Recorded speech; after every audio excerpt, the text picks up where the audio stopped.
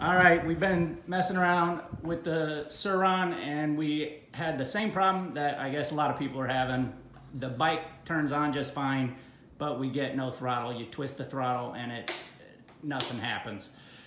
So we thought maybe it was one of the sensors. The brake, there's two brake sensors and there's one kickstand sensor. When you when they're engaged, the throttle doesn't work or the throttle cuts out.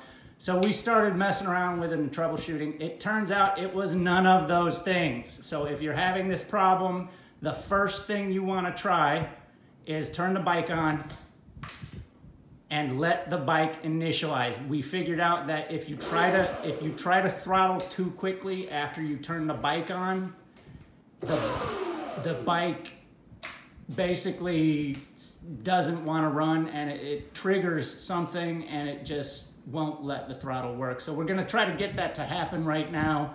We're gonna turn it on throttle very quickly before the bike initializes and try to get it to trigger that safety mode. So go ahead, Turn it on. turn it on. So try to hit that throttle too fast. So the bike is on Show, and, so show us on. And- whatever.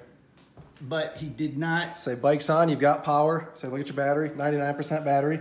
Say everything's good to go. I say I should have throttle right now. No reason I don't. Brakes are good, everything's good. Kickstand's up. So you hit the throttle. Nothing. Nothing. Nothing, nothing, nothing. so with, this was happening and now watch. And so we we thought it was one of the brake sensors or the kickstand sensor malfunctioning. So we finally figured out we've uh, reattached everything, reattached all the sensors. Everything is the way it came from the factory. So now he's gonna put it in So and show it's powered off. So we're yeah, now, powered off. we're now powered off. Power cycle I've it done nothing. You see me standing here. I say turn it back on.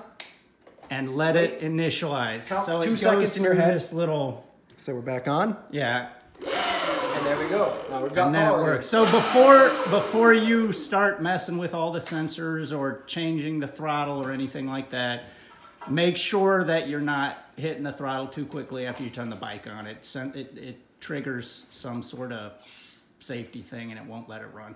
That's all. Bye.